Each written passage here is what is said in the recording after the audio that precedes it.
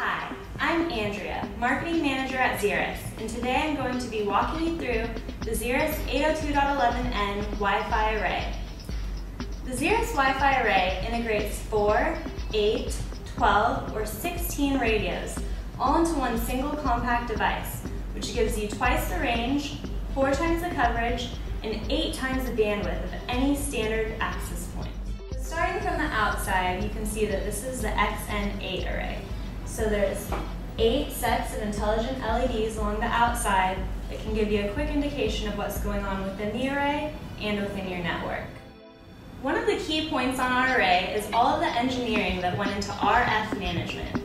Not only do we manage RF electronically, but we also have this patented reflective ring paired with RF absorption foam, which causes the, the signal from our directionalized antennas to really be pushed out.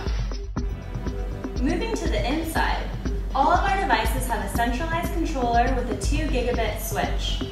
So you're pushing the whole intelligence of your network out to the edge. Also, all of them have a gig of system memory, a gig of packet memory, a gig compact flash, and then a PowerPC CPU. There's a FPGA cluster that handles line rate encryption and line rate QoS. All of our arrays also have four ports. You have a console port, an out-of-band management port, and then two gigabit uplink ports that can be aggregated together. Also, all of our arrays have these TNC connectors. So if there's an area that you can't penetrate the Wi-Fi signal, you can actually drop an external antenna and cover that area that way. All of our arrays are modular in design for easy upgradability and replacement. The main difference between 802.11n and 802.11abg are in the antennas. In order to support 3x3 MIMO, each radio needs three antennas. On each board, we have three radios, two 5 gigahertz radios and one 2.4 gigahertz radio. So, since each radio needs three antennas, you have six 5 gigahertz antennas, one, two, three, four vertical ones, and five, six, two horizontal ones.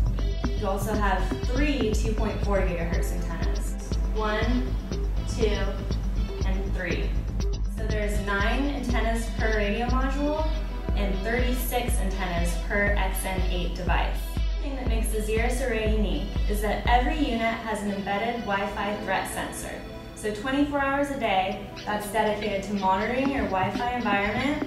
It can actually detect rogue APs, shut them down. It handles all intrusion detection and also acts as a spectrum analyzer. If you're looking for twice the range, four times the coverage, and eight times the bandwidth, contact us today for your free site survey to find out the performance that you could be getting with the Xirrus 802.11n Wi-Fi array.